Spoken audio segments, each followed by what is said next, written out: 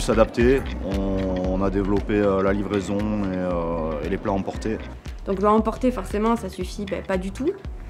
Après, on a les aides, mais le plus difficile, on va dire, ben, c'est le contact social. Du coup, heureusement qu'on a pu travailler cet été pour avoir un petit peu cet hiver, mais ça reste, ça reste critique quand même. On est reparti tant bien que mal, mais 2020 a été compliqué. Euh. Un petit peu compensé par euh, des fêtes qui ont été très bonnes, mais bon, malgré tout, voilà, un léger recul du chiffre d'affaires. On vit au jour le jour en fonction de, des annonces qui sont faites par le gouvernement et de ce qu'on peut faire ou non.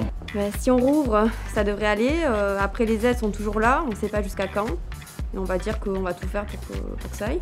Il va falloir au jour le jour se batailler, trouver de nouvelles solutions pour que les gens, puissent, euh, les gens qui viennent puissent être servis correctement et puissent trouver ce qu'ils ont envie de trouver chez nous. Et donc beaucoup se sont euh, dirigés vers le livre qui devient une sorte de, réconfort, de foyer, euh, de, culture à moindre frais malgré tout, mais qui permet l'évasion, le voyage et le partage.